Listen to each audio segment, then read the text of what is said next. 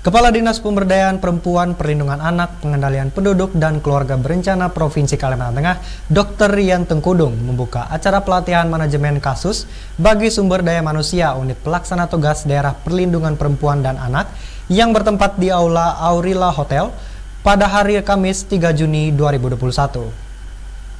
Data Survei Nasional Pengalaman Hidup Anak dan Remaja menunjukkan bahwa satu dari dua anak laki-laki berusia 13-17 tahun pernah mengalami kekerasan emosional.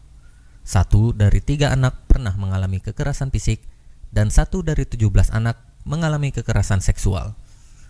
Sedangkan untuk anak perempuan yang berusia 13-17 tahun, hasil survei menunjukkan tiga dari lima anak pernah mengalami kekerasan emosional satu dari lima anak pernah mengalami kekerasan fisik dan satu dari sebelas anak perempuan mengalami kekerasan seksual.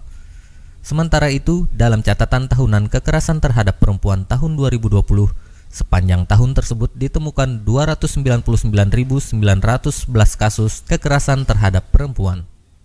Hal ini disampaikan Kepala Dinas Pemberdayaan Perempuan, Perlindungan Anak, Pengendalian Penduduk dan Keluarga Berencana Provinsi Kalimantan Tengah, Dr. Rian Tangkudung, saat membuka acara pelatihan manajemen kasus bagi sumber daya manusia unit pelaksana tugas daerah perlindungan perempuan dan anak bertempat di Aurila Hotel Kamis 3 Juni 2021.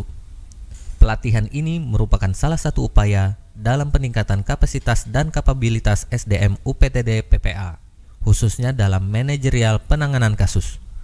Pihaknya berharap semua peserta yang terdiri dari perwakilan organisasi, organisasi profesi, dan perangkat daerah terkait untuk memanfaatkan pelatihan ini dengan baik dalam rangka pengembangan wawasan dan peningkatan kemampuan manajerial penanganan kasus kekerasan maupun perlindungan terhadap perempuan dan anak.